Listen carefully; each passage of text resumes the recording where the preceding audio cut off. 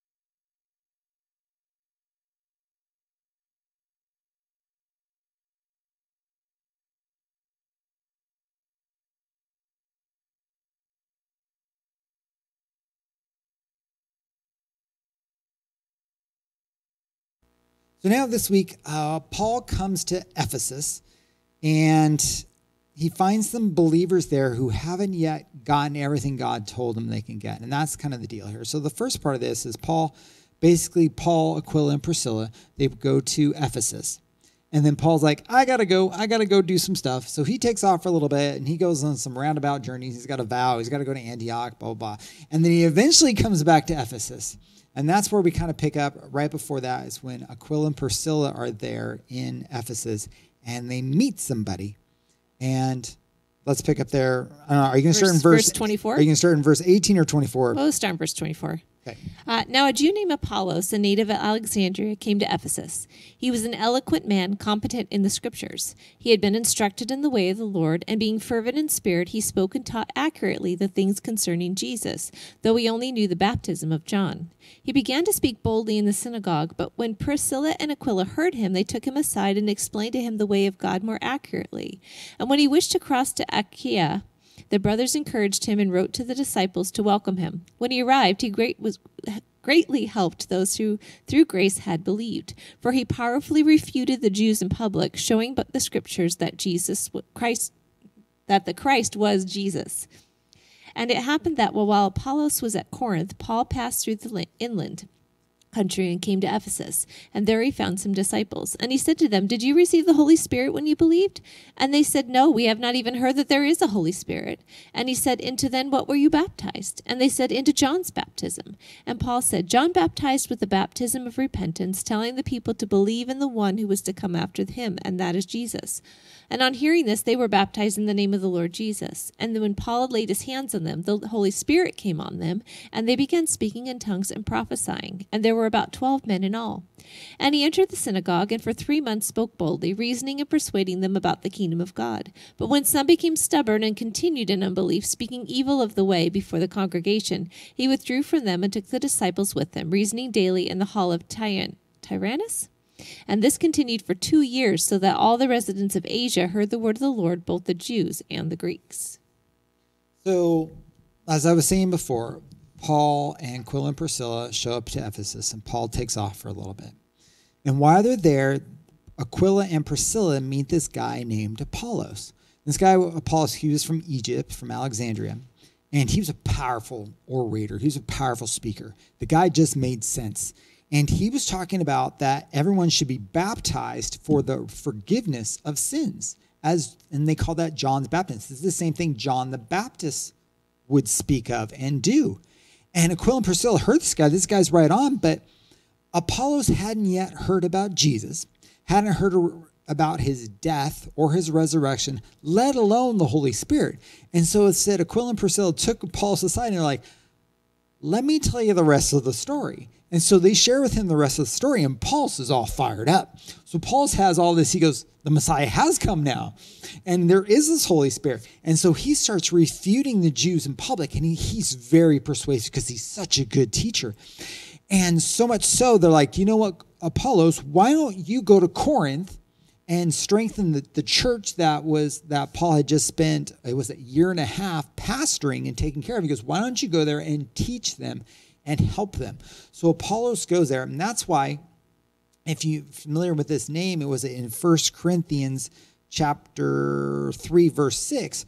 Paul says this when he writes the letter to the church in Corinth. He says, I planted, aka I started the church, Apollos watered, aka he came later and taught you things, but God gave the increase.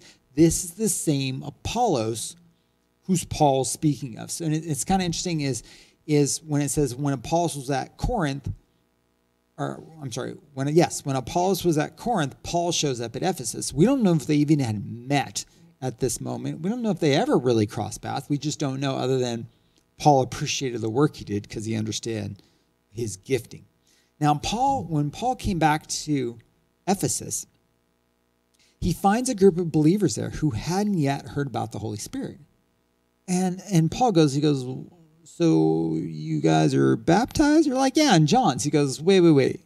You haven't got the baptism of the Holy Spirit yet? And they're like, oh, what is this? What is this you speak of? We don't understand. And Paul goes, no, no, no, no, no, no, no.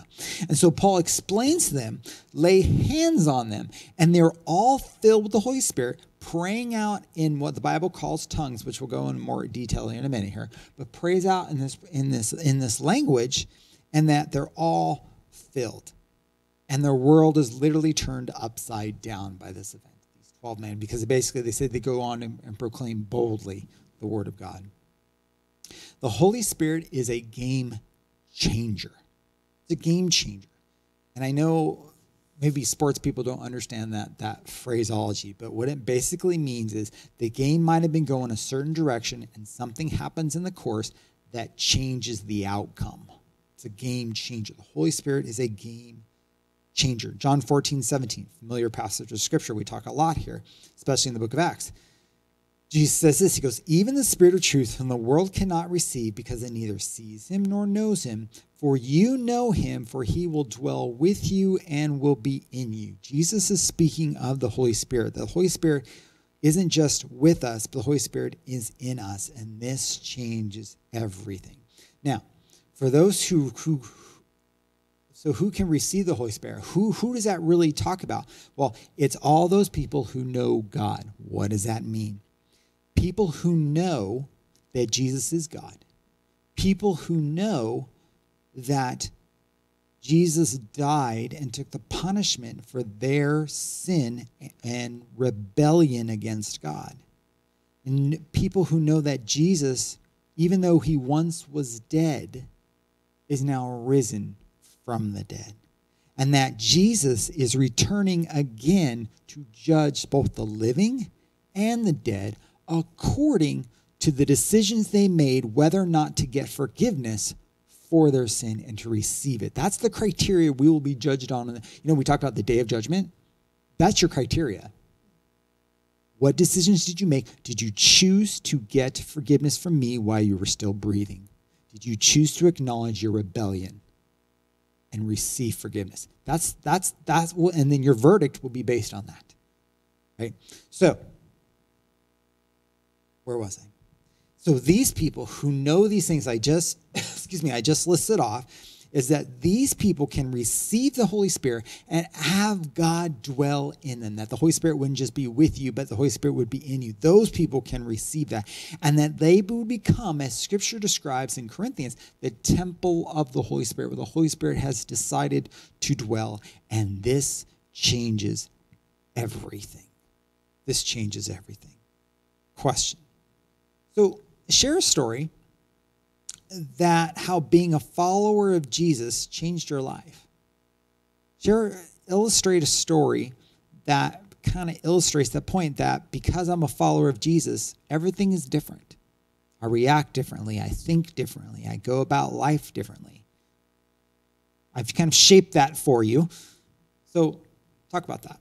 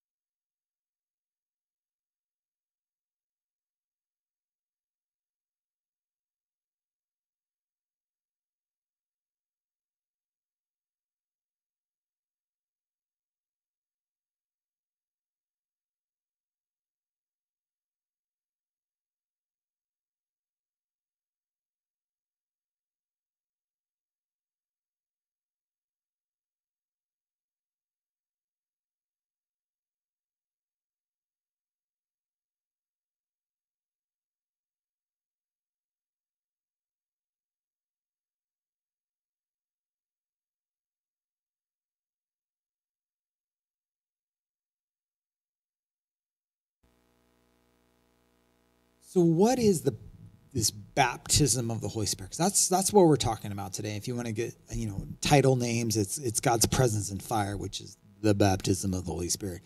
I once heard this said, and uh, uh, one of the uh, writer read this first because he, he said this. He said the church adopted the cross as their symbol, and he goes, they got the wrong symbol. They shouldn't have adapted the cross as a symbol. They should have adapted fire because the presence of the Holy Spirit was a game changer because they should have adapted fire as their symbol, not the cross. Fun fact. So, what I want to talk about though is I want to talk about this baptism of the Holy Spirit, but I don't want to use Christian words to do it. So, I'm going to use some different terminology because we got to be, once again, we talked about a couple weeks ago, to be able to explain being a believer in ways people can understand. And when we use words that are like, what does that really mean? We need to expound upon this. I'm going to try to do it. So let's let's let's first look at this baptism of the Holy Spirit. Baptism of the Holy Spirit. The word baptism is a Greek word. It means to immerse. It means to immerse, right? Um, when we talk about people being baptized, and you're like, oh, have you been baptized yet? Basically, what we're saying is, have you been in the water? Right? That's what we're talking about. Have you been in the water, right? And so we know that as as believers that when a person is baptized, that's their public expression that they've chosen to believe in Jesus and all that he did and stands for, right? So this baptism of the Holy Spirit is immersion, but it's or that's a big word. Let me break a little smaller word this baptism of the Holy Spirit is to be immersed in and with the Holy Spirit. Just like you would be immersed in water, as in just as in you would jump into a pool and you'd be all wet. To be baptized in the Holy Spirit means the Holy Spirit jumps into you and now you're all wet. Okay? That's that's weird but true in, in the same way, okay? It's the same deal. Luke chapter 3 verse 16. John the Baptist says this. He goes, John answered them all, saying, I baptize you with water, but he who is mightier than I is coming. And the straps of sandals I'm not even worthy to untie. And he will baptize you with the Holy Spirit and with fire. John the Baptist is speaking of Jesus because Jesus is the one who baptizes us or immerses us in the Holy Spirit, which is one of the uh, four principles of a Foursquare church. One of those principles is that Jesus is the baptizer or the immerser of the Holy Spirit. So, John proclaimed that we'd be immersed with the Holy Spirit and with fire. And with fire. And that's why in Acts chapter 2, when the Holy Spirit came, that that little flames of fire, little, little, little, little fire things sat on every single person's head. And I still think the coolest part of the story is, is that they couldn't see the fire resting on them. They had to see the fire resting on somebody else, everybody else. So basically they're saying, you have the Holy Spirit. You have the Holy Spirit. And I always think that conversation, they go, check me, check me. Do I have it? Do I have it? Do I have it? Yes, you have it. Oh. There had to be that, that moment, the, the aha moment uh, of, of what was actually happening. Now, when a person allows the Holy Spirit to reside and take up residence in them, okay? Because it is a choice. When a, when a person, and I'm going to say a believer because you have to be a believer in Jesus of those things I just laid out earlier, and I'll say them about three times later. But when a believer allows the Holy Spirit to come up and take up residence in them, they speak out in a language. The Bible refers to that as tongues and basically language, right? They speak out in a language unknown to the individual. Okay? Speak out in a language unknown to the language. Now, this language this believer would speak out isn't necessarily unknown language, as in it's not like, oh, you spoke Spanish. Okay? It's not necessarily that. Okay? Is an unknown to that individual, and it's a language that God understands. And what it means is it's a private language between you and Him. Okay, it's a it's the red phone, right? right? It's, it's it's the hotline. Wait, let me get on the phone. The bat phone. the bat phone. Let me pick this up, Commissioner Gordon. Okay, so it, it's that thing. It- it's that thing. It's only language that God understands. Now, when we pray, right? So here's a word. When we speak in that language, we're actually praying because remember what prayer is. Prayer is having a conversation with God. It's talking with God. It's it's a shorter word to describe I'm having a conversation with God. So when we have or when we use or speak in our special language, Bible calls it tongues, when we do that, we're having a conversation with God. So it is prayer. Now, this conversation, even though we may not know with our head, we'll talk more about that in a second, what we're saying, we're actually praying the exact thing that God wants to see happen. We call that God's will or God's intention. We're praying exactly what God wants to happen. Let's look at Romans chapter 8 verse 26 to 28. It says this. Likewise, when the Spirit helps in our weakness, oh, sorry, I that popped out there. I'm going to use that in a minute. For we do not know what to pray as we ought. But the Spirit Himself intercedes for us with groanings too deep for words, and He searches the hearts and knows the mind of the Spirit, because the Spirit intercedes for the saints according to the will of God. For we know that those who love God, all things work together for good for those who are called according to His purpose. See, when we pray in this language, right, having this conversation with God in this language, we are praying God's will, even when we don't know what it is, as in God's will. We're praying His will. Now, the Holy Spirit does this, as it just described in Romans chapter 8, verse 26 that we when we pray or have this conversation with God, the Holy Spirit makes intercession. Okay, big word. Let's talk about that.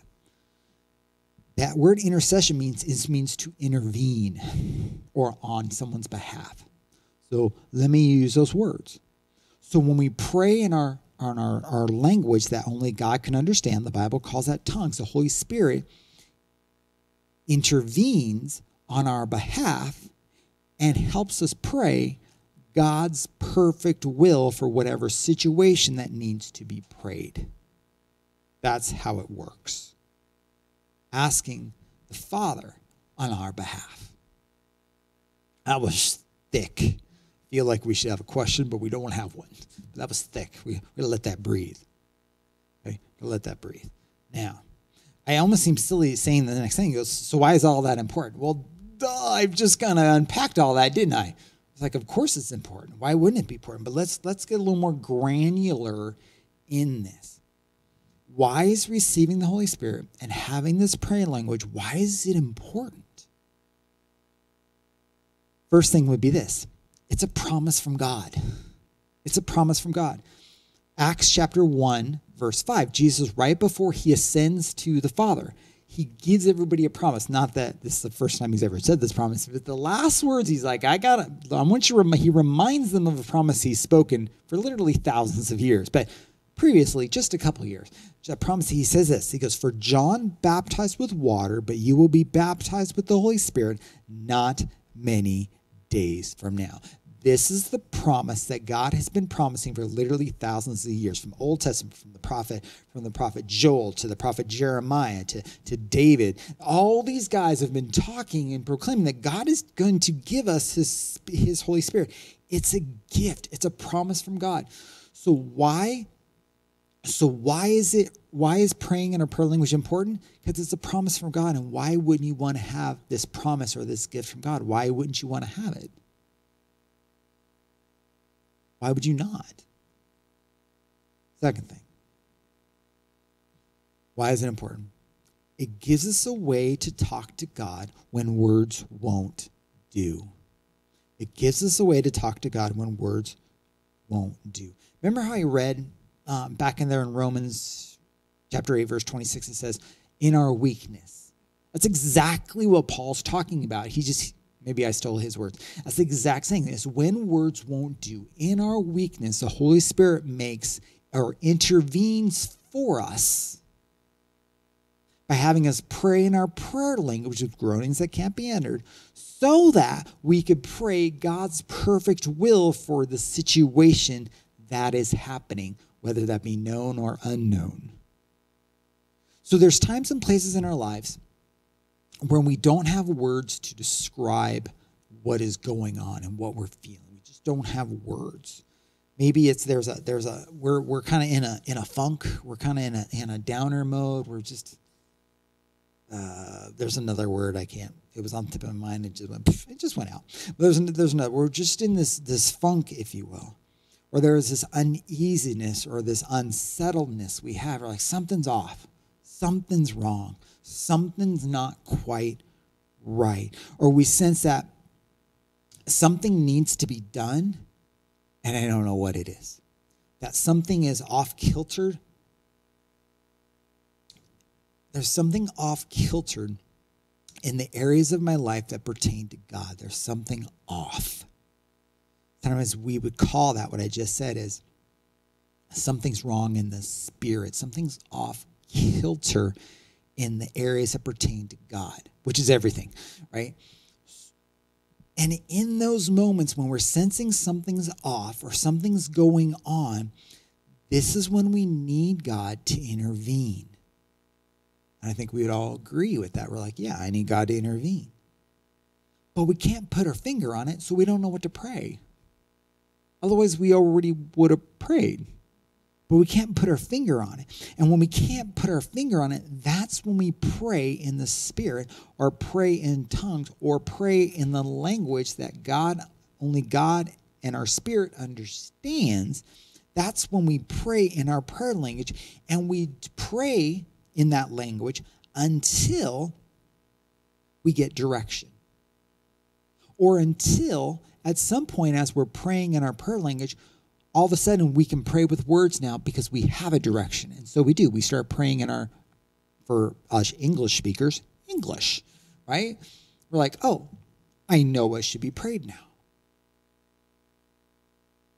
Or we pray in this language, our prayer language or tongues, until resolve comes to our hearts. And that looks like there's a there's a if everything was uneasy before, everything's become settled. If everything was unknown and there was chaos and turmoil, everything becomes peaceful. If there was a lack of direction and a fear about circumstances, everything becomes full of faith and a confidence that God is doing something. That's what I mean to be settled. When we pray in the Spirit and we're praying God's will, of course things are going to be settled because we're praying His will. We're praying God's perfect plan. And sometimes we might even be speaking things over, over our future that we don't even know what they are yet, but that God does. So, that's why it says, where I'm going to use this verse in just a second again, but I'll say it now. In 1 Corinthians chapter 14, verse 14, Paul's talking about praying in the Spirit, praying in this language, praying in tongues. Excuse me. He says this For if I pray in a tongue, my spirit prays, but my mind is unfruitful. AKA, he goes, when I pray my prayer language, my spirit is alive. My spirit's doing all the work, but my mind doesn't have a clue with what's happening. Why? Because your head does not understand the things of the spirit. God talks about that. He goes, My thoughts are not your thoughts, my ways are not your ways. So Paul points that out. And so when we pray in this language, we are praying what needs to be prayed, even though with our natural head, it may not understand. The third thing, third thing, when we pray in the Spirit or when we pray in this prayer language, it just takes care of things. Things get accomplished and things get done. Because when we're praying in the Spirit, when we're praying in our prayer language, our, our spirit prays the perfect will of God and it cuts through the things our mind don't doesn't understand. We kind of talked about that just literally seconds ago. Because our logical mind wants to compartmentalize, it wants to understand, it wants to uh, make everything a category and a component. The mind is good at that. But the mind is not good understanding the things of the spirit, right? You want your mind to organize your shoes. You want your mind to organize your socks and where your silverware goes. Mind, that's his, that's his, that's his wheelhouse, right? All star. But the mind is not an all star when it things to coming to understand the things of the spirit, because the mind and the spirit are at enmity with each other because they don't. The mind does not understand the things of the spirit. So, because our logical mind wants to do all that and wants to compa- can categorize things in life, there are things in life that cannot be categorized. There are things that are in life that cannot be compartmentalized. There are things that can't be put into neat little filing cabinets. It doesn't work like that. There are things like that. Now, some of those things that are like that are anything that's of the Spirit or anything relating to the things of God. His thoughts are not our thoughts, His ways are not our ways. So our logical mind cannot put things in the bubble which God says, those aren't my thoughts. So we need the spirit to handle that. And there are other things that aren't even tangible, such as uh, emotions and feelings. The logical mind has a hard time with this stuff, really does. We have to train it to be able to deal with things. And that's why we need to pray in the spirit so things can be dealt with that our mind can't grasp and categorize and put into its boxes. It loves so well compartments. We need to pray about those because the mind can't handle those. And that's why we have to pray in the Spirit. Now, once again, what are those things? Those things are dealing with the Spirit or the things of God, and also some intangibles such as fear. The mind cannot, the fear, the mind does not do well with fear, right? So we need to pray in our in our prayer language to help process and to deal with that fear, to get God's perfect will and to know what God's intention is. And so we can believe for that and not believe for the bad outcomes, which is what fear tries us to do. See, breakthrough happens when we pray God's will. One more time. Breakthrough happens when we pray God's will. 1 John chapter 5 verse 14. Look at this. And this is the confidence we have towards him that if we ask anything according to his will, he hears us. When we pray in the spirit, we are praying God's will. If we're praying God's will, then it's going to be done. What if I don't know what God's will is? Pray in the spirit. Well, I don't understand what I'm saying. I'll tell you what you're saying. You're, praying God's will. And that's a good thing. And that's a good thing. All that to say this. Here's a question. Here's a question. If you have received your prayer language, share a time when you used it and saw God show up with direction or peace. So those of you pray out in the spirit with, with your prayer language, that's a better word. Share a time when you when you actually did this and saw God show up, whether it be peace, whether it be answers, whether it be re- resolved situation. Let's talk about that.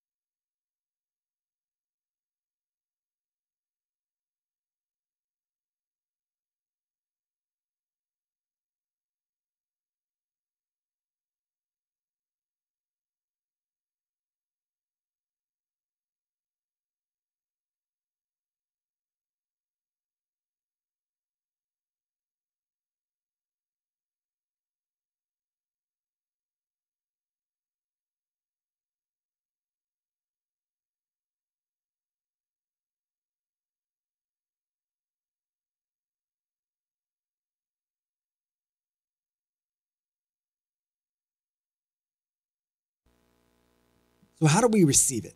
How do we receive the Holy Spirit? How do we do all this?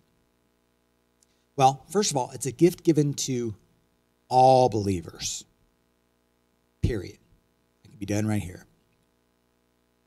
It's a gift given to all believers, not Mary and and Joe, but not Bob. No, Mary, Joe, and Bob all can receive the Holy Spirit if they are believers. And there's no age limit on that. And there's no age limit. You could be a baby Joe and a baby Mary and a well, as long baby as you, if you understand that Jesus is God and If that you're a God him believer. from the dead and you're a believer, And you you're a believer, that's receive it. That's the You're criteria. 89, 102, or 7. You have to be a believer, which we'll get into that in a second here. Acts chapter 2, verse 3 or 3 through 4. Um, this is the moment the Holy Spirit fell. And divided tongues of fire, or divided tongues as of fire, appeared to them and rested on each one of them. And they were all, look at the word, all filled with the Holy Spirit and began to speak in tongues as the Spirit gave them utterance. Right after this event, Peter goes out and starts talking to the crowd. And because they they hear this commotion going on in this room, the 70 of them, by the way, it wasn't just the 12, it was 70 of them there, goes out and they hear this commotion and they're like, oh my goodness, Jesus is Lord. And they're having this revelation. And, and Peter goes on to tell them, you know, you too can have the Holy Spirit. And that's where we pick up in uh, Acts chapter 2, verse 39.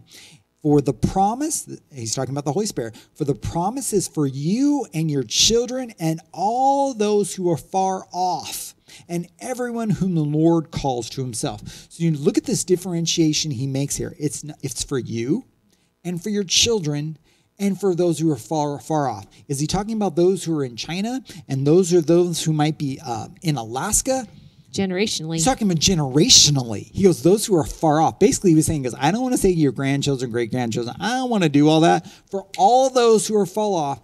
And he and he says, he goes, you can have the promise of the Holy Spirit given to you. So, how to you? How is this gift? Who's this gift for? It's for believers. So, what makes you a believer? We went over this a second. We'll do it one more time. It's for those of us who have asked forgiveness for the rebellion we committed against God. And the Bible calls that rebellion sin. But it's rebellion when we do willfully do, right? Because let's face it, when we, we sin, as the Bible cries it, it's willfully. You don't accidentally sin, right? You don't accidentally rebel. It's an act of your will. When we ask forgiveness for these acts, it makes us a believer. When we know, not only do we ask for forgiveness, but when we know that, that there's a penalty for that rebellion and that Jesus took it by his death, he took it. And that not only did Jesus took our punishment or the consequence for our sin, but that he rose again from the dead. He didn't stay dead. He came back. And that and part of that is we've placed Jesus in charge of our life. He's in charge, meaning he gets he gets the say so. He gets the say so. He's in charge now. We are not. We gave up that right. And that this indwelling of the Holy Spirit can happen for those believers, as they just described, when we let the Holy Spirit move, right? When we let the Holy Spirit really move in, is what we're saying. Because when we invite the Holy Spirit into our life, we're saying, Holy Spirit, move in. And here's the thing is, we're not letting the Holy Spirit be a roommate. Basically, what we're doing is we're ti- signing over the title deed to our lives. And we're saying, Holy Spirit, not only are you a roommate, but you're the owner. Here you go. That's literally what we are doing. He's not just a he's not just a housemate, he's the owner of the house. He gets to decide what remodel projects get done and where you He gets to decide the chore list, Chore list. Exactly. the whole thing. Now, so we've entered in this relationship with Jesus. He's our Lord and the one who forgives our sin, or Lord by Lord is. He's the one who's now in control. We've given him authorization to be the, in charge of our lives. This is what Jesus describes the Holy Spirit, or how he describes this in Luke chapter 11 and verse 9 through 13. It says this I tell you, ask, and it will be given to you. Seek, and you will find. Knock, and it will be open to you. For everyone who asks receives, and everyone who looks finds, and the one who, who knocks, it'll be open. What father among you, if he asks a son for a fish, instead of a fish, would give him a snake, like Izzy's? Who would do that? Joshua.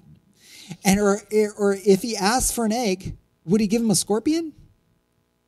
If you then, who are evil, know how to give good, good gifts to your kids, look what Jesus says here. How much more will the Heavenly Father give the Holy Spirit to those who ask Him? This whole passage, we use it all the time. We're like, you just have to pray and God, God will give you what you need, right? That is true. But this passage is talking about, if we look at it in context, it's talking about one thing the Holy Spirit.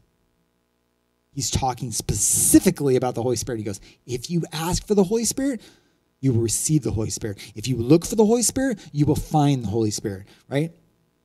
If anyone who asks receives, and those who seeks finds. He's talking about the Holy Spirit. All we have to do is ask for the Holy Spirit to come because God wants to give the Holy Spirit. That's his promise, right? You don't make promises you don't want to fulfill. This is his promise. So, what does it look like? What does it look like to receive the Holy Spirit? Well, it looks like this. Maybe you're by yourself, or maybe you're in a group of believers right now in your community. But this process is going to look like is you're going to say out loud that Jesus is the one who's in charge of your life. The Bible calls that being your Lord and Savior. And in that process, the Bible also describes that as being born again or born once more, a second time. Now you're going to make that proclamation out loud with your words. Because if you want to receive the Holy Spirit with words, you got to speak things out in words, right? So you confess Jesus is, is, is the one who's in charge. And if you haven't done that before, well, great. You can do it right now for the very first time and still receive the Holy Spirit, right?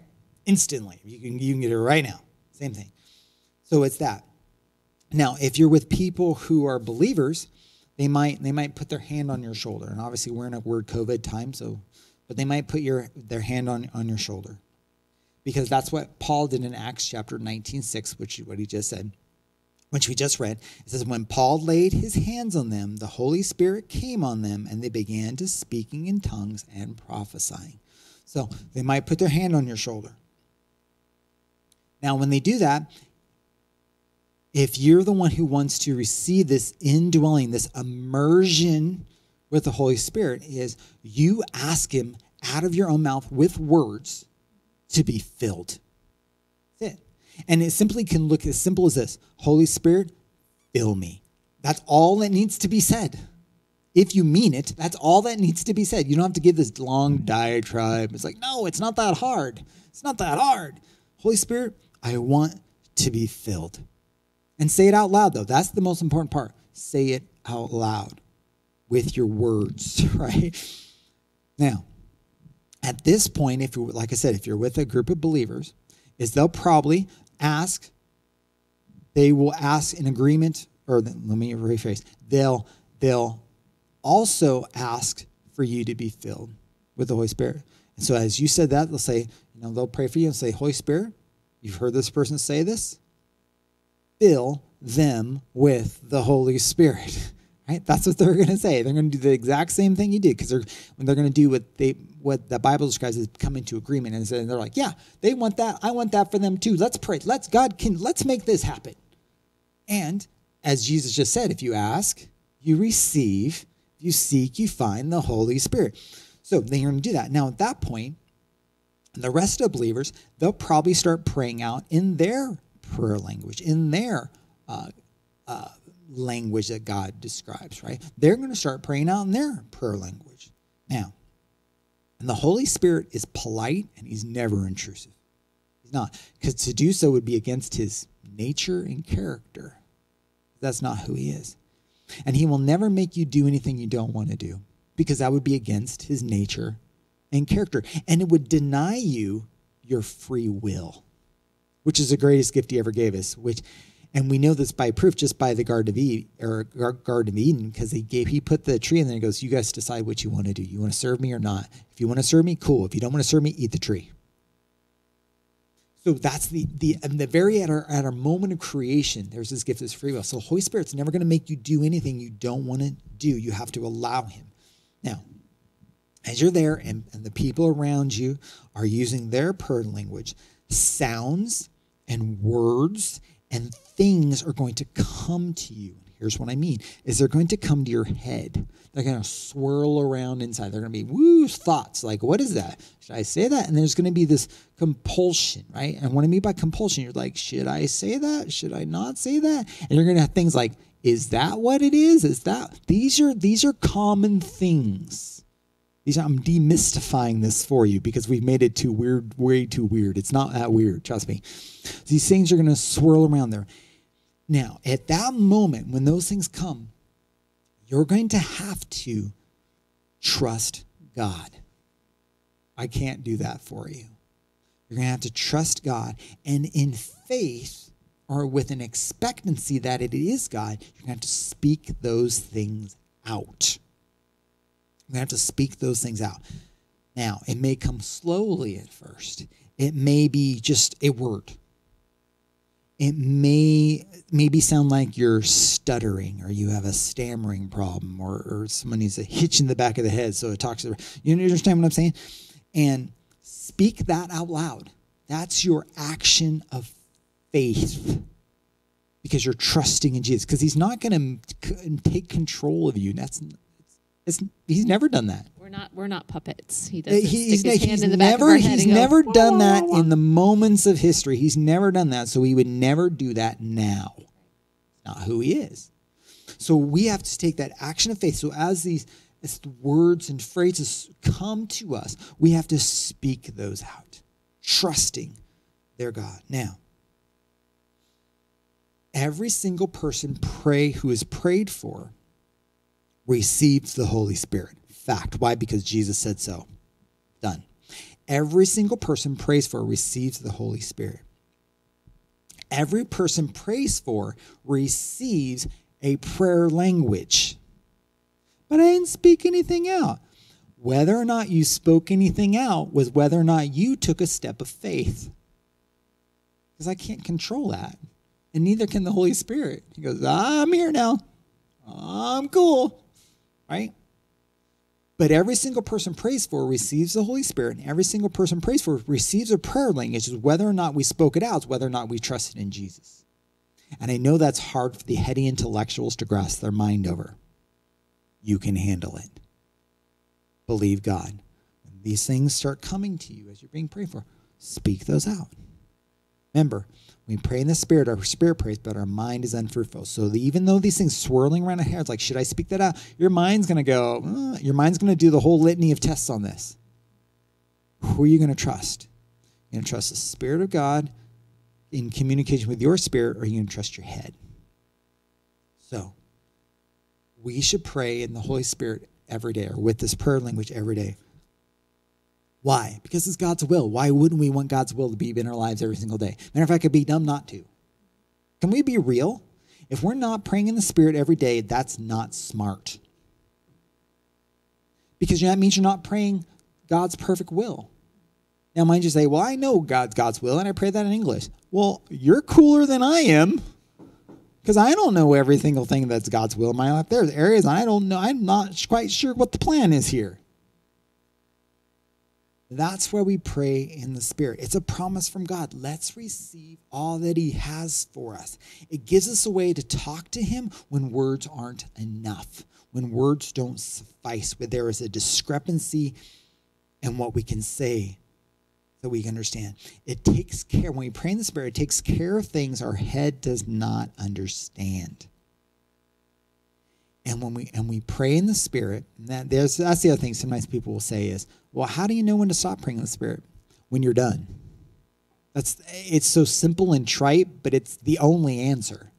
Everybody who's been a believer for a while, who's received the baptism, they all whenever I say something like that, they all they all shake their head. They're like, "Yep," because we all know it to be the fact. How do you know when you're done? When you're done. And so it looks a lot like there's a peace, like there's a sense that everything is okay. There's a sense that there's been a resolve and a resolution to the uneasiness you may have been feeling. Now, well, what if I don't feel uneasiness? Do I have to pray in the Spirit? Well, do you want to pray God's perfect will? Well, yeah. Okay, then do that. You, you don't have to pray in this, you don't have to feel uneasy to pray in the Spirit. It's not a criteria. It just helps that. It just helps that. So today, in, in your community groups, pray for people to be filled with the Holy Spirit. Pray, and, and I know that as you guys pray today, those individuals who are being prayed for, you will be filled. You will be filled. Why? Because that's what Scripture says. As I said, everybody person, every person who prays is filled with the Holy Spirit. Every single person who is prayed for receives their prayer language, whether or not they speak it out, is whether or not they've chosen to trust God and speak those things and if everybody in your community group already is filled with the Holy Spirit, then spend some time just praying in the Spirit together and asking God for wisdom and direction for your lives and for the lives of those there and see what He wants to say to each other. So let's pray. Father, um, you see these faces, see all these people, Father. We pray for everyone right now who isn't filled and they want to be filled. Father, right now we say, be filled in the name of Jesus. Holy Spirit, come fill. Every believer who does not know the reality of this, who hasn't experienced it, Father, right now, fill them.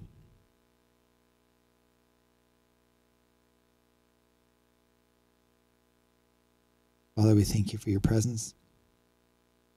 We thank you for doing the work. We thank you, Father, for the gifts of the Holy Spirit, Father. Remind us to, to rely upon you more and to trust you in all these things, Father. We thank you that we have the ability, when words don't aren't enough, to communicate with you. And we can know and pray what exactly what you want to see happen, Father, which defeats the works of darkness and releases the power of your spirit in our lives. And that changes everything.